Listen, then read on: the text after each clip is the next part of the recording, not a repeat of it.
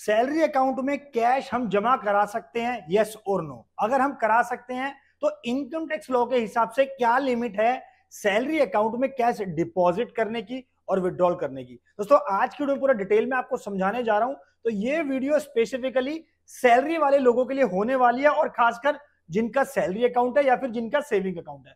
तो आपसे आशा करता हूँ कि वीडियो को आप पूरा देखेंगे और स्किप नहीं करेंगे।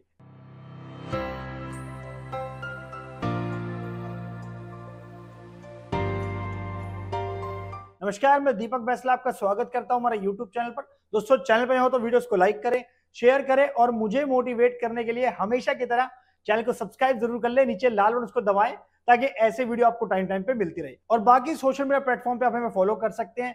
सबका लिंक आपको डिस्क्रिप्शन में मिल जाएगा, क्लिक करके ज्वाइन कर लेना क्योंकि वहाँ पे आपको मिलती रहेंगी अपडेट्स फाइनेंस और टैक्सेशन की। दोस्तों, ये क्वेश्चन मुझसे काफ़ी पूछा गया कि सर मेरा सैलरी अकाउंट है तो मेरी सैलरी की इनकम के अलावा अगर मैं कुछ कैश जमा कराना चाहता हूँ अपने सैलरी अकाउंट में या अपने सेविंग अकाउंट में तो क्या मैं करा सकता हूँ? देखिए दोस्तों इनकम टैक्स लॉ के हिसाब से अगर आप अपने सेविंग अकाउंट के अंदर 10 लाख रुपए का कैश जमा कराते हैं या उससे ज़्यादा का कराते हैं, एक पूरे फाइनेंशियल ईयर में। अब यहाँ पे जो सेविंग अकाउंट है दोस्तों, वो आपका एक भी हो सकता है, वो आपके बहुत सारे सेविंग अकाउंट भी हो सकते हैं। ऐसे ही अगर मैं एक सैलरी पर्सन की बात करूँ तो उसका एक सैलरी अकाउंट एक भी हो सकता है, उसके दो भी हो सकते हैं। मतलब एक साल के अंदर उसने पहले कहीं पे जॉब करी तो उसका एक अकाउंट वहाँ पे था। फिर उसने दूसरी जॉब चेंज कर ली उसी साल में सेम फाइनेंशियल ईयर में तो उसका दूसरा सैलरी अकाउंट खुल गया। तो एक तरह से देखा जाए तो उस साल उसने दो सैलरी अकाउंट यूज़ कर लिए।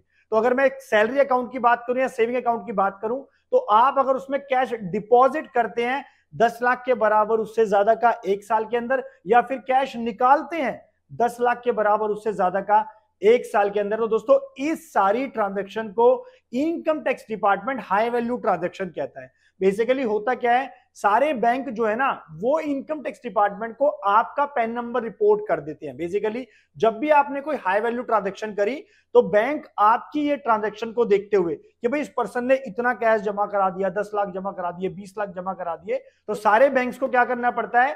फॉर्म 61 ए के अंदर, जो एस एफ़ टी ट्रांजेक्शन जिसके अंदर वो बैंक सारी नोटिफाई करता है, उसके अंदर 31 मई से पहले, जब साल खत्म होता है तो उसके आने वाली 31 मई से पहले जो है, वो सारी की सारी S F T transaction specified financial transaction या जिसको हम कह देते हैं हाई वैल्यू ट्रांजेक्शन बैंक उन सबको रिपोर्ट कर देता है इनकम टैक्स डिपार्टमेंट को। अब अकॉर्डिंगली इनकम टैक्स डिपार्टमेंट वहाँ पे क्या चेक करेगा कि इस पर्सन की तो सैलरी इनकम है। अब सैलरी के अलावा इसके अकाउंट में दस लाख रुपए कहाँ से आए? दोस्तों देखिए इनकम टैक्स डिपार्टमेंट ये चीज़ को जस्टिफाई करने की कोशिश करता है कि अगर आपके सैलरी अकाउंट है, आपके सैलरी अकाउंट से ऑब्वियसली सैलरी इनकम आपने दिखा रखी है, आपने आईटीआर वन भर रखी है आईटीआर टू भर रखी है अपनी, अगर आपकी सैलरी की इनकम है। इसके अलावा आपका कुछ अगर कैपिटल गेन की इनकम है, यानी कि आपने कोई प्रॉपर्टी बेची है शेयर में कोई ट्रेडिंग करी है लॉन्ग टर्म शॉर्ट टर्म के अंदर तो आपने वो अपनी इनकम के अंदर दिखाया होगा आईटीआर में दिखाया होगा। इसके अलावा अगर आपने कोई मेजर कैश अमाउंट डिपॉजिट करा, जैसे मैंने बताया क्या दस लाख के बराबर उससे ज़्यादा का अगर आपने कैश डिपॉजिट कर रहा है, अब वहाँ पे इनकम टैक्स डिपार्टमेंट क्या करेगा? वहाँ पे आपकी इनकम टैक्स रिटर्न की प्रोसेसिंग करेगा, उसको चेक करेगा और उसको अगर ये लगता है कि भाई इसने जो कैश जमा कराया, मान लो पंद्रह लाख रुपए आपने कैश जमा करा दिया और वो अपने आईटीआर में अगर एज एन इनकम आपने कहीं शो नहीं करा, यानी कि आपने आईटीआर या तो कम की भर दी या कहीं शो नहीं करा तो उस केस में फिर इनकम टैक्स डिपार्टमेंट आपको लीगल नोटिस भेज के पूछेगा कि ये बताओ, ये पंद्रह लाख रुपए आपके पास आए कहाँ से? तो गाइज़ यहाँ पे मुद्दा ये नहीं है कि आप अपने सैलरी अकाउंट में दस लाख से ज़्यादा का कैश जमा नहीं कर सकते। आप जमा चाहे तो दस लाख कर सकते हो, बीस लाख, तीस लाख, जितना मर्ज़ी चाहे गैस जमा करा सकते हो, लेकिन कल को अगर इंक्वायरी होती है इनकम टैक्स डिपार्टमेंट से तो उसकी जस्टिफिकेशन आपको देनी पड़ेगी कि ये आपके पास कैश आया कहाँ से। और गाइज़ इनकम टैक्स लॉ के हिसाब से आप अगर कैश लेते हो, देखिए, अगर आप गिफ्ट ले रहे हो, अगर आपको गिफ्ट मिल रहा है कैश में पचास हज़ार तक की जिसकी वैल्यू है तो उस पर आपको कोई भी टैक्स नहीं देना है। वो आपका टैक्स फ्री है राइट इसके अलावा अगर आपको रिलेटिव आपके किसी रिश्तेदार से रिलेटिव से, जो कि इनकम टैक्स की कैटेगरी में, दोस्तों, ये सारे लोग आते हैं इनकम टैक्स की जो डेफिनेशन है रिलेटिव की, उसमें ये सारे लोग आते हैं। तो अगर आप रिलेटिव से अपना कैश ले रहे हैं तो उस केस में आपको कोई समस्या नहीं है। लेकिन दोस्तों, उसमें भी आपको ध्यान रखना है कि दो लाख से ज़्यादा का कैश आपको एक पर्सन ने एक दिन में रिसीव नहीं करना है। तो रिलेटिव से भी लिमिट है लेने की। लेकिन अगर आपकी शादी के टाइम पे आपको बहुत सारे गिफ्ट मिलते हैं कैश मिलता है ज्वेलरी मिलती है, देखिए तो उस केस में आपको कोई दिक्कत नहीं है। वो आपका सारा टैक्स फ्री है शादी के टाइम पे। और वही बात अगर हम बात करें रिलेटिव के केस में तो रिलेटिव से आप कैश ले रहे हैं तो वहाँ पर दिक्कत नहीं है। तो इसको हम दोस्तों एग्ज़ाम्पल से समझते हैं।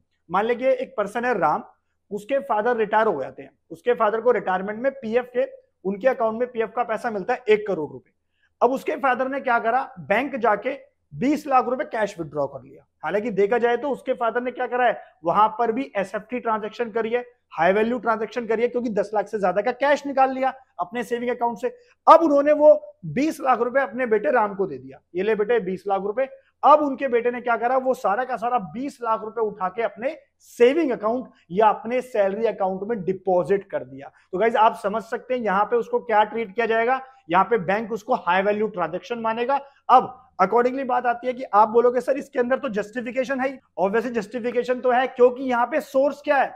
सोर्स उसके फादर यानी कि उसके रिलेटिव ने उसको कैश दिया है और एज अ गिफ्ट दिया है। तो दोस्तों, इस केस के अंदर पूरी जस्टिफिकेशन इन्वॉल्व है, क्योंकि उसके पापा, उसके जो फादर है, उसको क्या मिला? रिटायरमेंट में पैसा मिला फंड मिला। ऑब्वियसली वो भी क्या था? उन्होंने प्रॉपर टैक्स देके अपनी सैलरी के इनकम के ऊपर प्रॉपर टैक्स पे करा। उनकी इनकम टैक्सेबल थी, वो आईटीआर भी फ़ाइल करते हैं। उन्होंने कैश विड्रॉ कर लिया अकाउंट से अपने बेटे को दे दिया। तो यहाँ पे पूरी चेन बन रही है और पूरी क्या है वो जेन्युइन सोर्स है।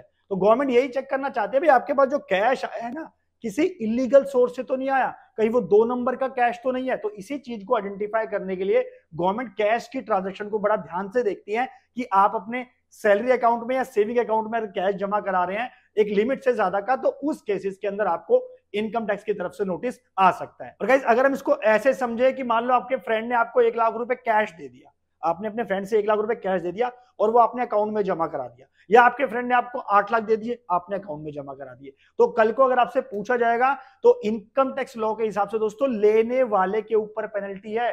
सेक्शन दो सौ कहता है इनकम टैक्स का कि जिस पर्सन ने कैश लिया उसके ऊपर 100 परसेंट पेनल्टी है। यानी कि अगर आपने आठ लाख रुपए लिए तो आपके ऊपर आठ लाख रुपए की पेनल्टी लग जाती है। तो कैश की ट्रांजेक्शन को आपको अवॉइड करना है।